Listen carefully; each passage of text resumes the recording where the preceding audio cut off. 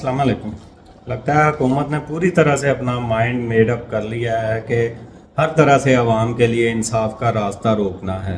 और शायद यही वजह है कि आज खुद जजेस साहिबान जो हैं वो इंसाफ के मतलाशी हैं।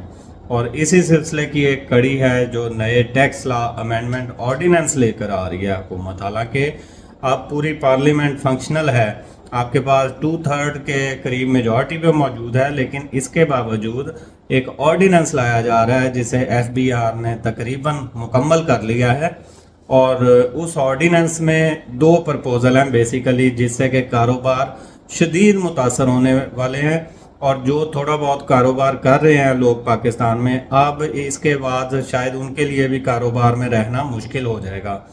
अब पहले इसमें प्रोसीजर क्या होता था कि जब भी कोई टैक्स अथॉरिटी आपके साथ एक्सेस ऑफ़ पावर करती थी तो उस सूरत में आप के पास दो ऑप्शन मौजूद होती थी एपलेट लेवल पर। पहली अपील आप फ़ाइल करते होते थे इनलैंड रेवेन्यू कमिश्नर के पास और उसके बाद सेकंड आप जाते होते थे एपलेट ट्रिब्यूनल में।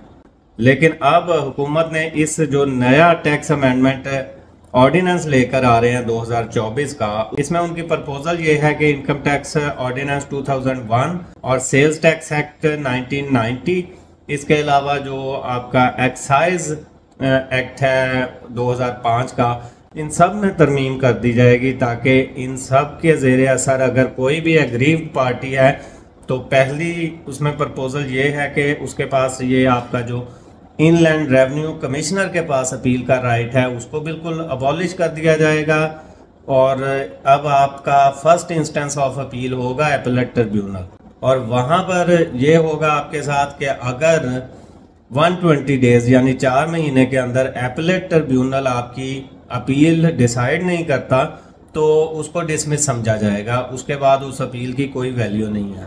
अब होना तो ये चाहिए कि एपलेट ट्रिब्यूनल जो कि एक सरकारी इंतज़ामी अदारा कह सकते हैं आप उसको। 120 दिन में या चार महीने में अपील डिसाइड नहीं करता तो उस अपील को खारिज समझने की बजाय आप उसको अलाउड क्यों नहीं समझते? उसको अलाउड समझना चाहिए और उसका रिलीफ, यानी हुकूमत के पार्ट पर अब नाअहली का रिलीफ एग्रीव्ड पार्टी को मिलने पटिशनर को मिलने की बजाय वो भी हुकूमत को ही मिलेगा। तो इस किस्म की कानून साजियों की तरफ़ रुझान चल रहा है हुकूमत का, जिससे ये लगता है कि एक तरफ़ तो महँगाई बढ़ रही है इकोनॉमी की बुरी हालत है और दूसरी तरफ़ जिन लोगों ने, जिन बिजनेसेस ने स्मॉल बिजनेसेस ने और बड़े कारोबारी हजरात ने इस इकोनॉमी को थोड़ा सहारा दे सकते हैं, जिनसे कुछ तो रखी जा सकती है। उनके लिए इस किस्म की कानून साजियाँ हुकूमत लेकर आ रही है ताकि उनके लिए भी इस बिज़नेस में रहना डिफ़िकल्ट हो जाए। इसी तरह की न्यूज़ नेक्स्ट वीलॉग में भी आपके साथ शेयर करनी है तो मिलते हैं नेक्स्ट वीलॉग में। तब तक के लिए अपना ख्याल रखिएगा और अपने इस चैनल का अल्लाह हाफिज़।